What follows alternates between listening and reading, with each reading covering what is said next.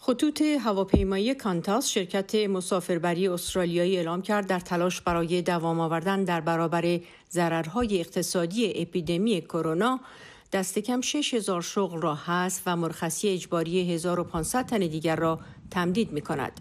مدیر اجرایی کانتاس گفت از آنجا که این شرکت سالها با کاهش درآمد مواجه بوده باید کوچکتر شود.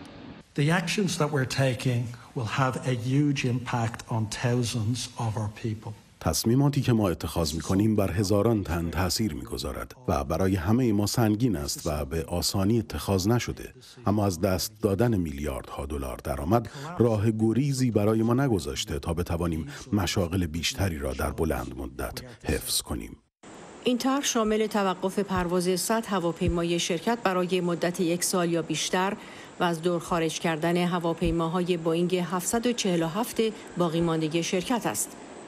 نخست وزیر استرالیا گفت او می‌خواهد به کارمندان سابق کانتاس برای یافتن کار در سایر بخش‌های اقتصادی کمک کند.